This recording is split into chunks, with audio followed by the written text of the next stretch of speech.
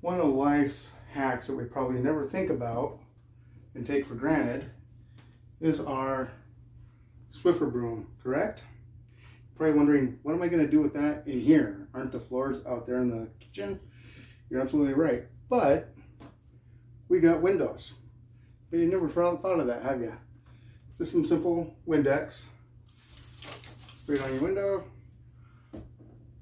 Put a towel or whatever kind of wipe you want to use to wipe that off with.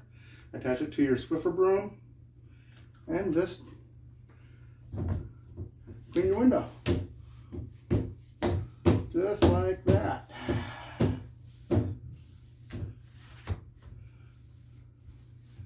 And it saves on paper towels. And just like that. And you're pretty much done.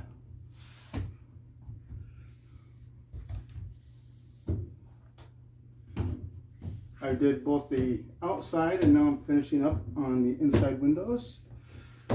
And just giving a good over. And